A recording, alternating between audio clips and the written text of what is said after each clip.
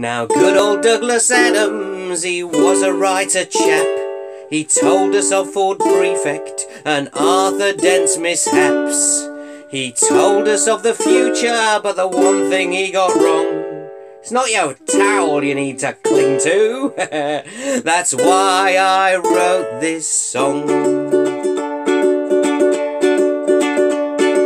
Whenever you're in danger, in worry or in doubt, don't run around in circles, don't you scream and don't you shout. Don't hide down in the bunker, do not fight and do not flight.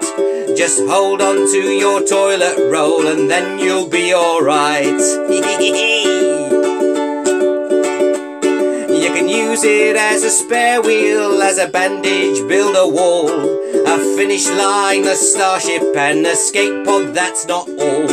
You can trip up shambling zombies, beat off men from outer space, plug volcanoes, soak tsunamis, wipe that crud off Donald's face. There's good eating on a toilet roll, make lasagna with the sheets. It makes a tasty cereal and substitute for meats. Serve it as a vegetable in salads or on kraut. For if the paper's going in, it's no time when it comes out.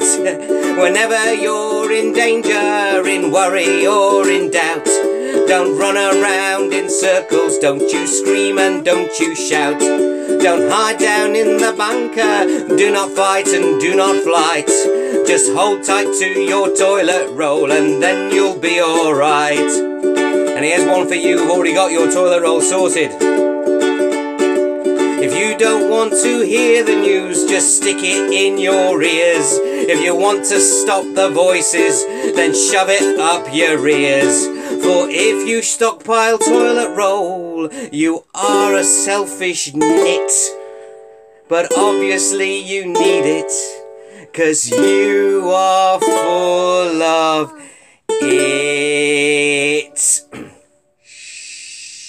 All together now, here we go.